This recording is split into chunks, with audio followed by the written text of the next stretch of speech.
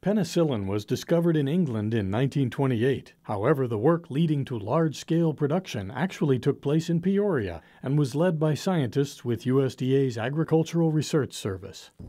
As Europe and the Pacific burned during the dawn of World War II, the ARS lab in central Illinois had nearly everything it needed to begin mass penicillin production. Everything, that is, except for the right fungus strain. The final piece of the puzzle arrived unexpectedly on a piece of aging fruit. In the summer of 1943, an unidentified housewife came to the front door and said, Here, I've got a moldy cantaloupe.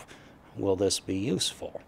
And it turned out that it had the strain for penicillin production. Private companies were reluctant to invest in risky research. If you could guarantee that you'd have a product then private industry would be interested, but you can't guarantee it. This is science.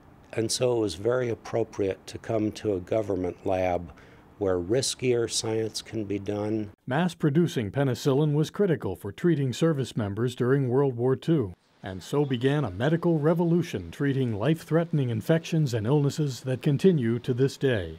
At age three, I uh, contracted nephritis, a lethal kidney disease, and only with massive doses of penicillin did I survive. So I owe a debt to ARS uh, because of the work they did with penicillin. The original penicillin strains are still here in the ARS Culture Collection at the National Center for Agricultural Utilization Research. In Peoria, Illinois, for the U.S. Department of Agriculture, I'm Pat O'Leary.